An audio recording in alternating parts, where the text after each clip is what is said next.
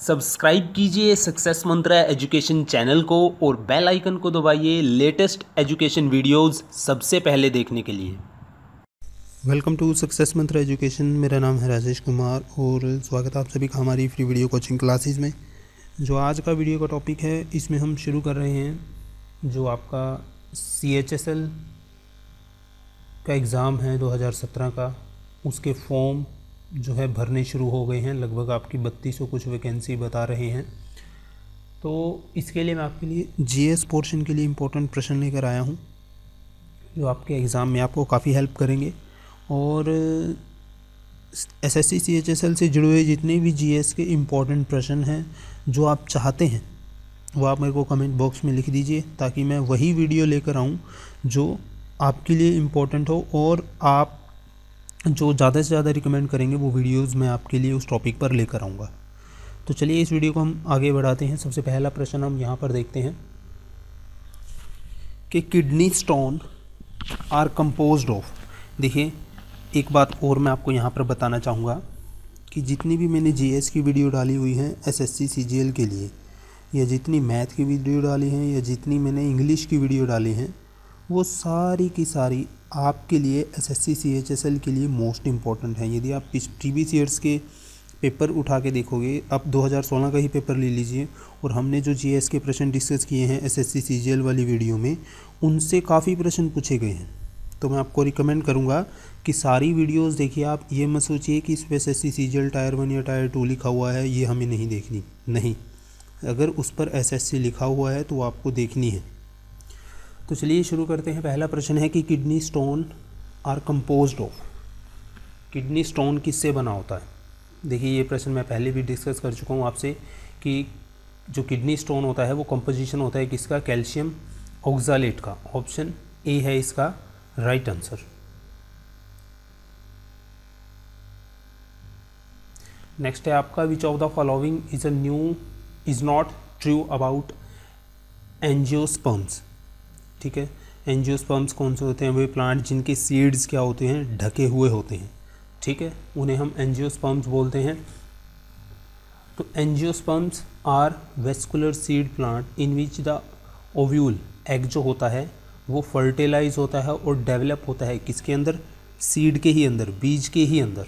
तो यहाँ पर जो प्रॉपर्टी मैच नहीं करती है एंजियोस्पर्म से वो है कि डोमिनेंट फ़ेज़ इज़ गैमेटोफाइट तो यहाँ पर ऑप्शन ए है इसका right answer all of the following are excretory waste product of animal except तो आपको बताना है कि निम्नलिखित में से कौन सा जो है वेस्ट प्रोडक्ट नहीं होता एनिमल के अंदर. ऑफ़ कोर्स आप सभी को पता होगा कार्बोहाइड्रेट्स कार्बोहाइड्रेट्स जो है वेस्ट प्रोडक्ट नहीं होता एनिमल्स के अंदर. कार्बोहाइड्रेट्स, हमारी एनर्जी का सोर्स होता है, बॉडी को कार्बोहाइड्रेट्स चाहिए काम करने के लिए। तो कार्बोहाइड्रेट से एक एक दो प्रश्न और जुड़े हुए आपसे पूछे गए थे, जैसे कि आपको कार्बोहाइड्रेट्स के मैंने बताया था, टाइप्स, मैं ये डिस्कस कर चुका हूँ सारे के सारे आपके साथ प्रीवियस वीडियोज़ में। तो यहाँ पर हम रिवाइज़ कर लेते हैं, जैसे कार्बोहाइड्रेट्स के टाइप की बात करूँ तो मोनोसेकेराइड डाईसेकेराइड और पॉलीसेकेराइड, ठीक है?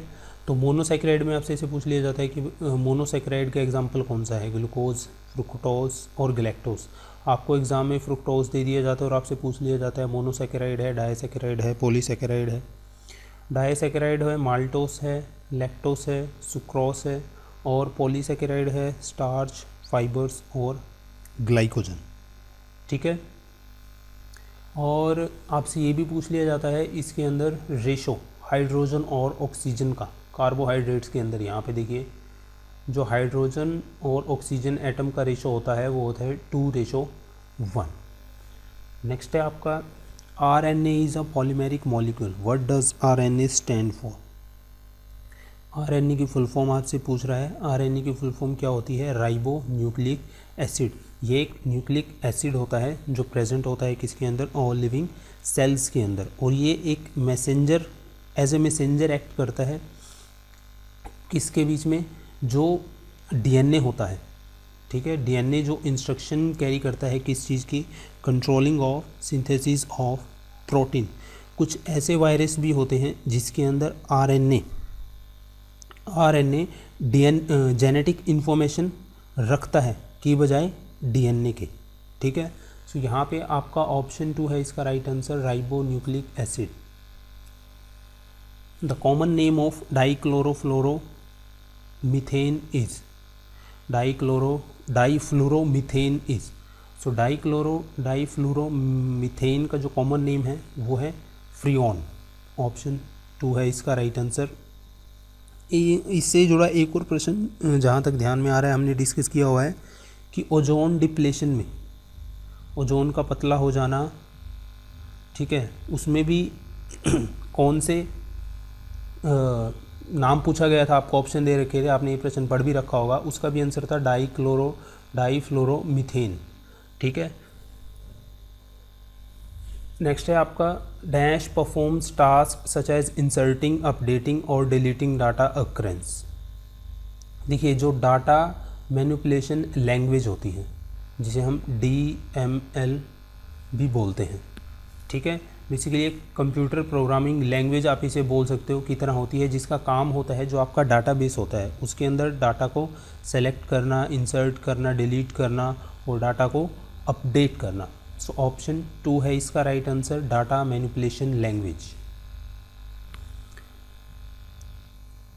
Razmnama is a Persian translation of Razmnama किसका पर्शियन ट्रांसलेशन है, ये आपको बताना है। रजमनामा जो पर्शियन ट्रांसलेशन है, वो है महाभारत का। रजम नामा का मतलब होता है आपका, यहाँ पे देखिए, रजम मीन्स होता है वॉर और नामा मीन्स होता है तेल और एपिक ठीक है? और ये किसके टाइम में इसको ट्रांसलेट किया गया था? अकबर के टाइम में। ठीक है? और जो इसका पहला वॉल्यूम ट्रांसलेशन थी, वो हुई थी पंद्रह में। अकबर ने मकतब खाना बनवाया था कहाँ पर?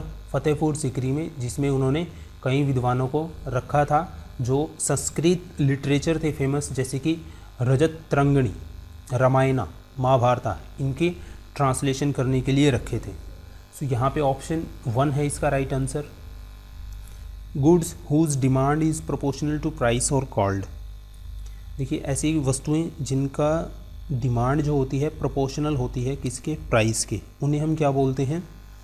वेबलैंड गुड्स। वेबलैंड गुड्स कैसी होती हैं, मैं आपको बता देता हूँ। देखिए, कुछ ऐसी वस्तुएँ होती हैं जिन्हें लोग अपनी सक्सेस का सिंबल मानते हैं, जिन्हें अपने लिए स्टेटस मानते हैं। और इस टाइप की वस्तुएँ होती हैं, वो चाहे कितनी भी महँगी हों, चाहे उनका कितना भी प्राइस क्यों ना हो जाए तो जितना उनका प्राइस इंक्रीज़ होगा, उतना ही उनकी डिमांड पड़ेगी। जैसे आप फॉर एग्ज़ाम्पल आप आईफोन एक्स को ले लीजिए। ठीक है? अब आईफोन एक्स से ज़्यादा फीचर आपको उससे दो तीन गुना कम फ़ोन में भी मिल जाएँगे आपको। लेकिन आईफोन को लोग क्या मानते हैं? एक स्टेटस सिंबल मानते हैं। तो आईफोन की जितना प्राइस इंक्रीज़ होता है, उसकी डिमांड भी बढ़ती है।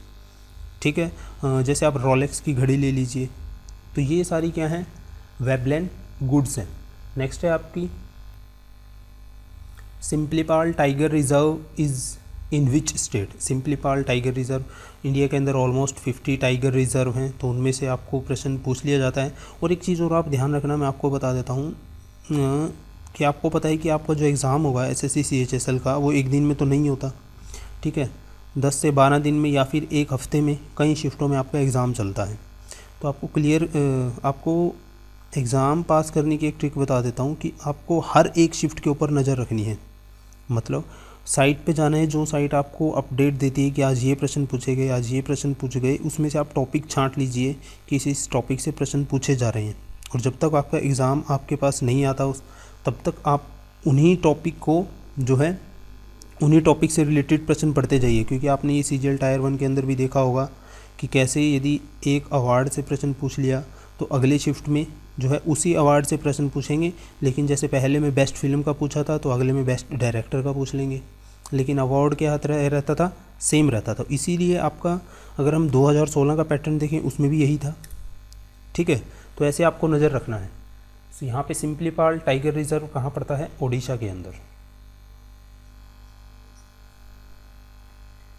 Which of the following is a greenhouse gas और a gas which can deplete the ozone layer निम्नलिखित में से कौन सी ग्रीन हाउस गैस है जो ओजोन लेयर को पतला करती है? तो वो है N two O nitrous oxide. कौन सी है? एन टू ओ देखिए, मिथे, मिथेन और एन टू ओ ये ग्रीन हाउस गैस हैं। ये सबसे ज़्यादा ओजोन लेयर को इफ़ेक्ट करती हैं। कार्बन डाइऑक्साइड से भी ज़्यादा इफ़ेक्ट इन दोनों गैस का होता है।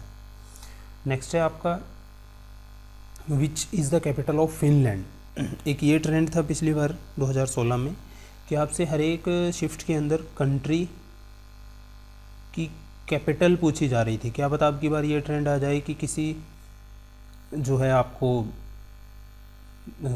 कंट्री देके उसकी क्या पता कैपिटल पूछने लग जाए। और इनका यही होता है कि एक शिफ्ट में जो उन्होंने पैटर्न पूछ लिया है चेंज तो नहीं करते, उसी शिफ्ट में बार बार वही पैटर्न रखते हैं।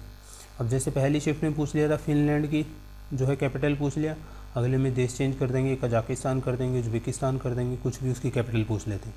तो फिनलैंड की कैपिटल क्या है? हेलसिंकी। ऑप्शन टू है इसका राइट आंसर। और फिनलैंड की करेंसी क्या है? Euro.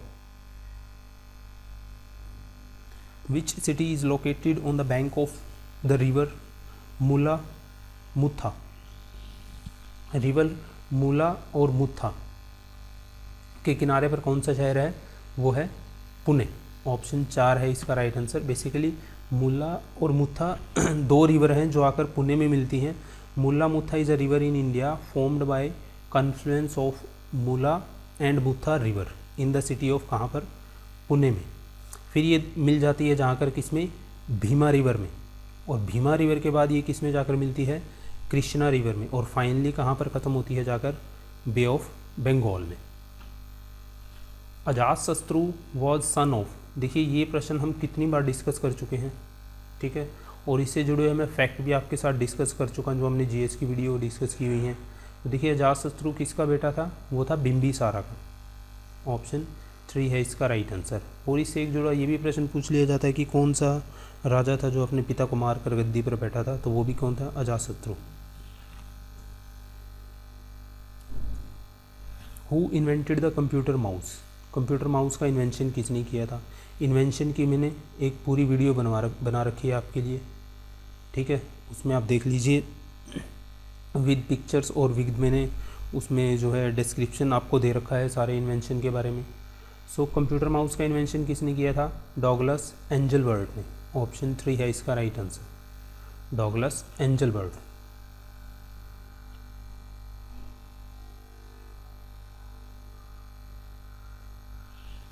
Nash states that internal energy is a function of state and the increase in the internal energy is equal to the sum of the heat supplied to the system and work done by the system तो ये किसकी definition यहाँ पर लिखी है first law of thermodynamics की option A है इसका right answer first law of thermodynamics ये स्टेटमेंट आपको क्लियर हो जाएगी फ़र्स्ट ला थर्मोडाइनमिक्स की जो इक्वेशन होती है वो डेल्टा यू वाली, वो आप कर लीजिएगा, उससे आपको ये स्टेटमेंट क्लियर हो जाएगी। नेक्स्ट है आपका what is the direction of torque देखिए टॉर्क है क्या बेसिकली आपको ये पता होनी चाहिए सबसे पहले। देखिए पुश और पुल ये क्या है? लीनियर फोर्स है। क्या है? लीनियर फोर्स और टॉर्क इसी तरह क्या है? एक रोटेशनल फोर्स होती है। क्या होती है? Rotational force. ठीक है? सो टॉर्क की क्या डायरेक्शन होती है? Perpendicular to the direction of applied force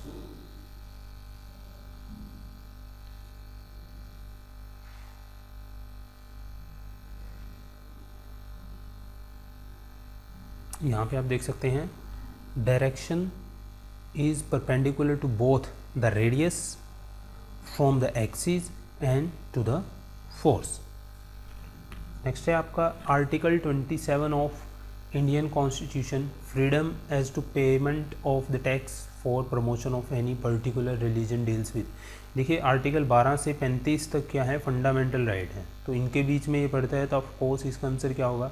Fundamental rights of Indian citizen option four है इसका right right answer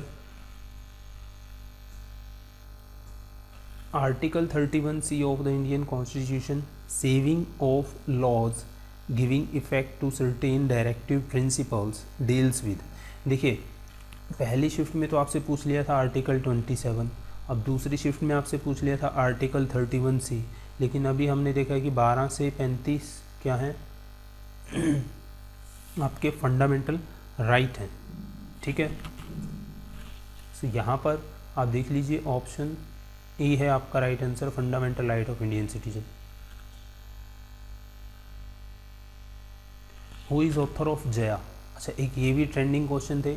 यदि आपसे एक उसमें शिफ्ट में बुक का ऑथर पूछ लिया तो अगली शिफ्ट में भी आपसे बुक का ऑथर पूछा जाएगा बट आपका नाम जो होगा बुक का वो अलग होगा। ठीक है? तो यहाँ पे देखिए जया बुक के ऑथर कौन थे? देवदत्त पटनायक। ऑप्शन टू है इसका right answer Devdutt Pattanaik. Chhatrapati Chhatrapati Shivaji Terminus station was design by. Chhatrapati Shivaji Terminus station को किसने डिज़ाइन किया था? इसको डिज़ाइन किया था? फ्रेडरिक विलियम स्टीवंस ने। ऑप्शन एक है इसका right answer Frederick William Stevens. Which of this is not a UNESCO world heritage site देखिए, अजंता केव ऑफ़ महाराष्ट्र, ये भी यूनेस्को की वर्ल्ड हेरिटेज साइट है। रेड फोर्ट दिल्ली ये भी यूनेस्को की वर्ल्ड हेरिटेज साइट है। Kaziranga wildlife sanctuary Assam में है जो, ये भी यूनेस्को की वर्ल्ड वर्ल्ड हेरिटेज साइट के अंदर शुमार है, जो विक्टोरिया मेमोरियल है कोलकाता का। वो नहीं है। ऑप्शन थ्री है इसका right answer. Which organ does detoxification and produces chemicals needed for digestion तो देखिए, कौन सा ऐसा ऑर्गन है जो डिटॉक्सिफिकेशन करता है और ऐसे केमिकल प्रोड्यूस करता है जो आपके डाइजेशन में हेल्प करते हैं। तो ये तो सिंपल है काफ़ी। लीवर लीवर के बारे में मैं आपको काफ़ी पढ़ा चुका हूँ, उसके फ़ंक्शन के बारे में। ठीक है कौन कौन से वो जो है क्रिया करता है, काम उसके जो मेन फ़ंक्शन होते हैं, वो भी मैं आपको पढ़ा चुका हूँ लीवर के बारे में। सो ऑप्शन फोर है इसका राइट आंसर लीवर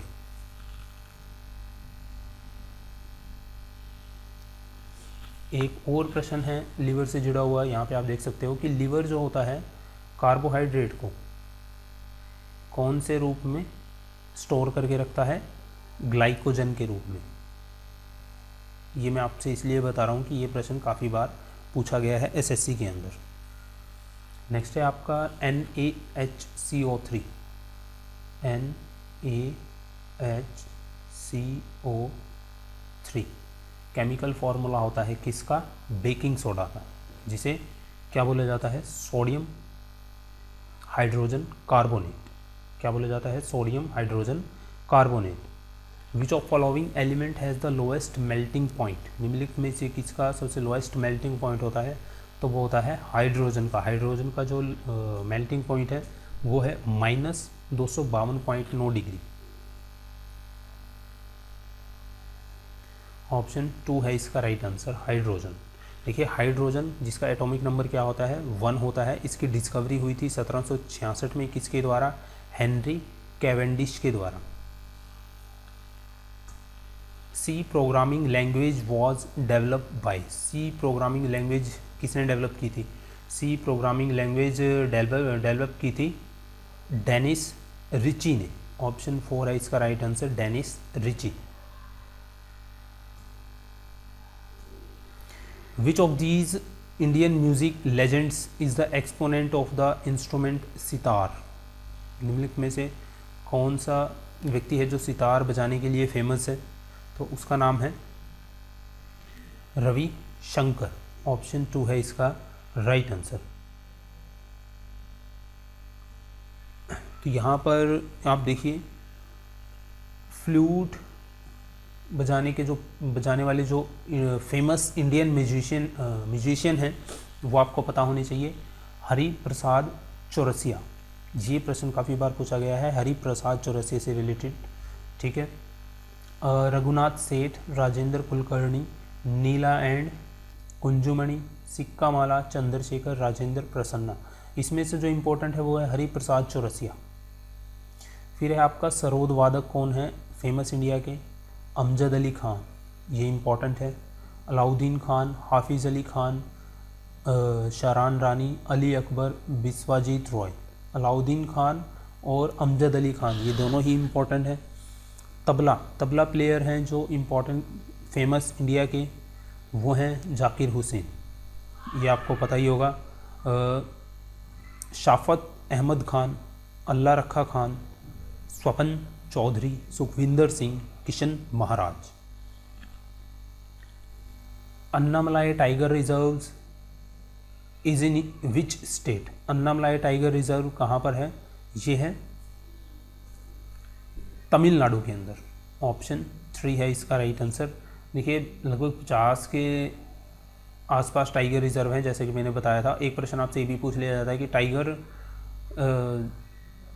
जो इंडिया का टाइगर सेविंग प्रोग्राम था वो कब शुरू किया गया था? 1973 में।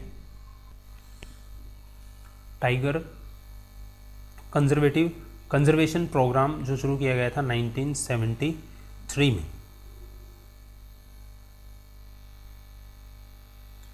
नेक्स्ट है आपका। यहाँ पे देख लीजिए इम्पोर्टेंट टाइगर रिज़र्व के बारे में मैंने आप, यहाँ पर लिस्ट डाली है। इम्पोर्टेंट है, बांदीपुर भी इम्पोर्टेंट है। जो पड़ता है कर्नाटका के अंदर। कॉर्बेट तो मोस्ट इंपॉर्टेंट है, उत्तराखंड के अंदर है। कान्हा इंपॉर्टेंट है, मध्य प्रदेश के अंदर है। मानस भी इंपॉर्टेंट है, जो आसाम के अंदर है। रणथम्बोर भी इंपॉर्टेंट है आपका, कहाँ पर है? राजस्थान के अंदर है। सिंपली पाल अभी हमने पढ़ा था, उड़ीसा के अंदर है। सुंदरबन मोस्ट इंपॉर्टेंट है, वेस्ट बंगाल के अंदर है। पेरियार भी काफ़ी बार पूछा गया है, केरला के अंदर है। सरिस का ये है, राजस्थान के अंदर। और भी इंपॉर्टेंट है, ठीक है, वो आप देख लीजिएगा। यहाँ पर जो है मैंने ग्यारह आपके साथ डिस्कस किए हैं। नेक्स्ट है आपका which is the most economical method of removing solid water from solid matter from water simple है, वो है सेडिमेंटेशन कि पानी को थोड़ी देर के लिए छोड़ दीजिए।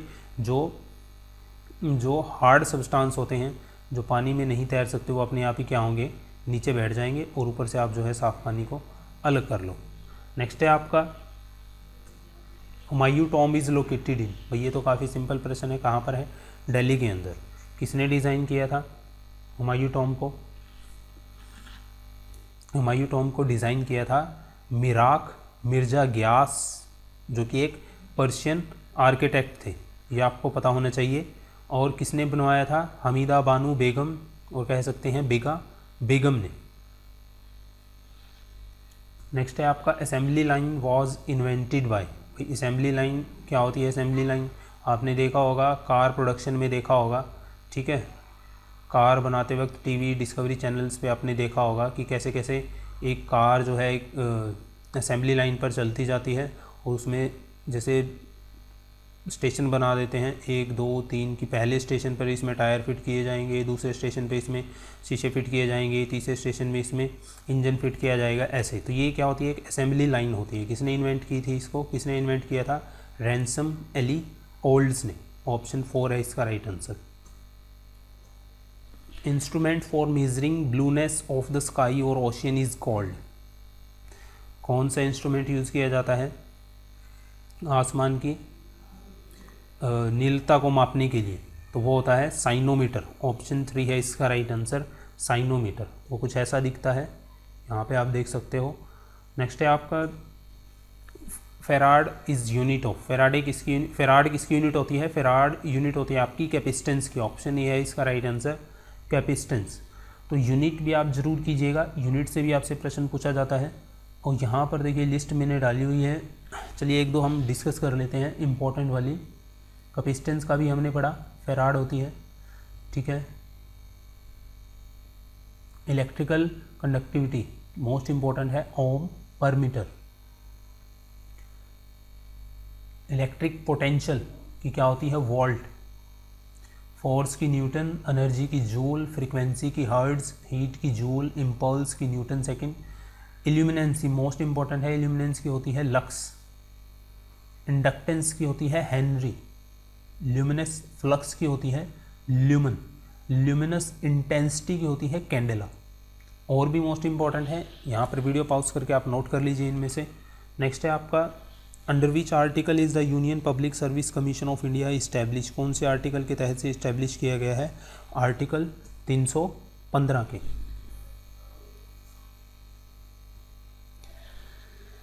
Westminster parliament system was developed in Westminster parliament system कहाँ पर डेवलप हुआ था? यूके के अंदर United Kingdom whose year Mike Tyson bite in professional boxing match in 1997 for the W V heavyweight championship देखिए, ये कैसा प्रश्न है? ठीक है, ये हमने कहीं पढ़ा भी नहीं होगा, किसी जीके की बुक में भी नहीं होगा, फिर भी इसको पूछ लिया गया है कि माइक टाइसन ने किसके कान पर बाइट किया था, जो मैच हुआ था हैवीवेट चैम्पियनशिप का उन्नीस सौ सत्तानवे में बॉक्सिंग का। तो उसका नाम था इवेंडर हॉलीफील्ड इवेंडर हॉलीफील्ड के कान पर उन्होंने बाइट किया था, जिसे बाइट फाइट के नाम से भी जाना जाता उस मैच को। ठीक है? जो हुआ था 28 जून उन्नीस सौ सतानवे को। Who is the author of India two twenty a vision for the new millennium देखिए, मैंने आपको बताया था, यदि बुक पूछ ली जाती है एक शिफ्ट के अंदर तो दूसरी बुक में भी वही पैटर्न रहेगा, बस बुक का नाम अलग हो जाएगा। अभी इसमें पूछ लिया है India two twenty a vision for the new millennium पिछली शिफ्ट में था जया बुक किसने लिखी? ठीक है? तो इसमें है India twenty two thousand twenty a vision for the new millennium ये लिखी थी हमारे former president Shri A P J Abdul Kalam ने। ऑप्शन एक है इसका right answer Psidium guajava is the scientific name Psidium guajava is the scientific name of किसका scientific name होता है? देखिए, फिर मैं आपको बता देता हूँ। साइंटिफिक नेम यदि एक शिफ्ट में पूछ लिया तो अगली शिफ्ट में भी वो साइंटिफिक नेम पूछेगा। ठीक है? ये होता है गुआवा अमरूद। तो यहाँ पर इंपॉर्टेंट मैंने ट्वेल्व लिखे हैं। मैन जिसे हम होमोसेपियन बोलते हैं कैट का फेलिस डोमेस्टिका फ्रॉक का राना टिग्रिना डॉग का कैनिस फेमिलरिस काओ का बॉस इंडिकस मैंगो का मैग्नीफेरा इंडिका इंपॉर्टेंट है वीट का इंपॉर्टेंट है ट्रिटिकम एस्टिवियम ग्राम का सीसर आर्टिनियम यहाँ पर इंपॉर्टेंट है ये ट्वेल्व टू ट्वेल्व इनको आप नोट कर लीजिएगा. नेक्स्ट है आपका in which year R B I was nationalised RBI bank को कब नेशनलाइज्ड किया गया था। ये आप सभी को पता है, वर्ष उन्नीस सौ उनचास में इसको नेशनलाइज किया गया था और पहला और शुरू कब हुआ था आरबीआई बैंक? ये भी पूछ सकता है, एक अप्रैल 1935 को।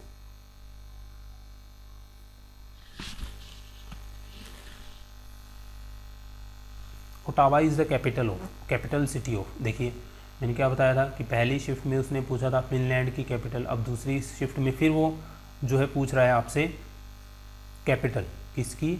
ओटावा की। ओटावा सॉरी ओटावा किसकी कैपिटल है? ये पूछ रहा है, ओटावा किसकी कैपिटल है? कनाडा की। ये हम सबको पता है ऑप्शन थ्री है इसका right answer Canada. Which drug is use as a blood thinner कौन से ड्रग को यहाँ पर यूज़ किया जाता है ब्लड थिनर यानी कि ब्लड को पतला करने के लिए?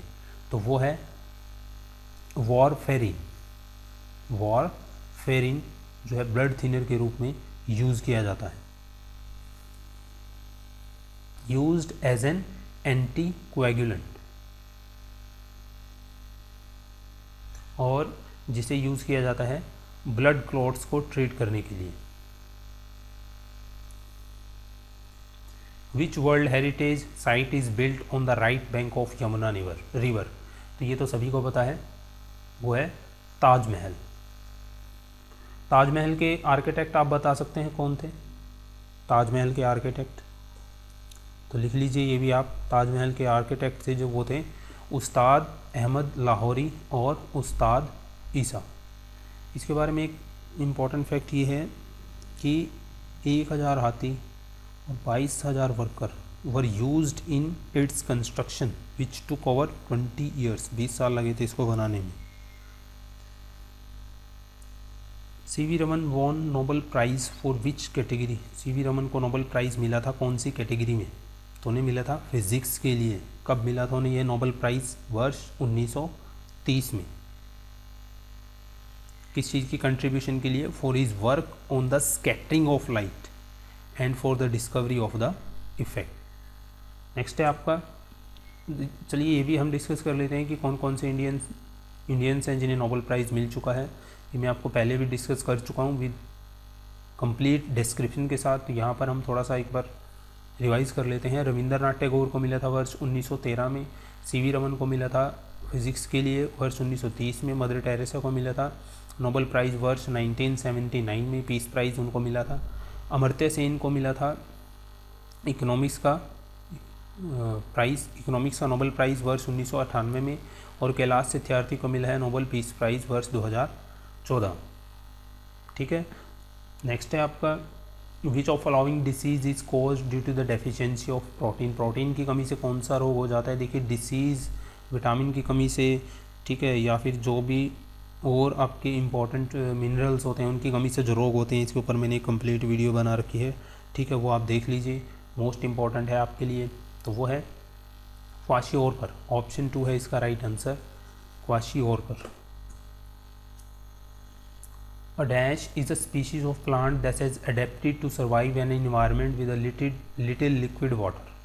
कौन सी स्पीसीज है प्लांट की जो सरवाइव करती है उस एनवायरनमेंट में जिसमें क्या होता है लिटिल लिक्विड वाटर होता है तो वो है आपकी ज़ेरोफाइट ऑप्शन वन है इसका right answer xerophyte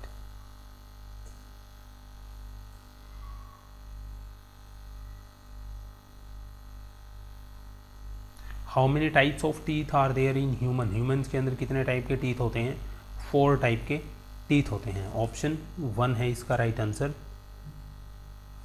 which of following element has the lowest melting point निम्नलिखित में से किसका लोएस्ट मेल्टिंग पॉइंट होता है? वो है नियोन का। नियोन का लोएस्ट मेल्टिंग पॉइंट है, जो होता है 246 degree minus two forty degree atomic number of which of the following elements is greater than that of silicon लिखने में, निम्नलिखित में से किसका एटॉमिक नंबर है? एलिमेंट का ज़्यादा होता है सिलिकॉन से तो वो है sulphur how many gigabyte is equal to one petabyte देखिए, एक हज़ार चौबीस जीबी का एक टेराबाइट होता है और एक हज़ार चौबीस टीवी का वन पेटाबाइट होता है। तो यहाँ पर वन पेटाबाइट किसके बराबर हुआ? एक हज़ार चौबीस इंटू एक हज़ार चौबीस जी बी के। ठीक है? तो यहाँ पर ऑप्शन फोर है इसका right answer air has maximum proportion of which inert gas कौन सी इनर्ट गैस का मैक्सिमम प्रोपोर्शन होता है एयर के अंदर? तो वो है आर्गोन ऑप्शन थ्री है इसका राइट आंसर इनर्ट गैस जिनकी रिएक्टिविटी क्या होती है? काफ़ी लो होती है. Who put forward the theory of continental drift in 1950 continental drift theory 1915 में किसने इसको सामने रखा था? उस रखा था एल्फ्रेड वैगनर ने. ऑप्शन थ्री है इसका right answer, Alfred Wegener rainfall due to upward movement of air caused by convergence of cloud air masses against warm air masses is called as ये हम कर चुके हैं, इसे हम बोलते हैं frontal rainfall frontal rainfall geography की क्लास में हम ये कर चुके हैं। नेक्स्ट है आपका what is the distance from the centre of the earth to the centre of the moon called यहाँ पर आप देख सकते हैं। उसे बोला जाता है orbital radius of the moon. इस डायग्राम में आप साफ़ देख सकते हैं, यहाँ इस सेंटर से लेके और इसके इस सेंटर तक का जो डिस्टेंस है बीच का। Article 20 of Indian constitution protection in respect of conviction for offences deals with. जैसा हमने पढ़ा था, पीछे भी मैं आपको बताया था अभी तो ये किसमें आएगा? Fundamental right of Indian citizen option एक है इसका right answer dash is a drug और substance that make you feel relaxed and makes your body work and react more slowly तो कौन सा सब्सटेंस सॉरी कौन सा ड्रग है जो ये करता है? या फिर कौन सा सब्सटेंस है जो ये काम करता है जो आपको रिलैक्स फील करवाता है और आपकी बॉडी को ऐसा बना देता है कि आप जो रिएक्ट करते हैं और जो वर्क करते हैं, उसको क्या कर देते हैं? बिल्कुल स्लो कर देता है। तो ये काम होता है डिप्रेसेंट का। ऑप्शन फोर है इसका राइट आंसर डिप्रेसेंट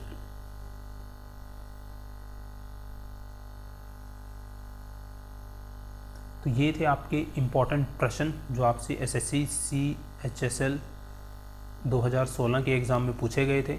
अगला वीडियो भी मैं जल्द आपके लिए लेकर आऊँगा। So thank you for watching this video और अपनी टॉपिक मुझे बताना मत भूलिए। यदि आप सी एच एस एल की तैयारी कर रहे हैं तो कमेंट कमेंट बॉक्स में टॉपिक के नाम ज़रूर कमेंट कीजिए, ताकि मैं अगली वीडियो वही लेकर आऊँ जो आप देखना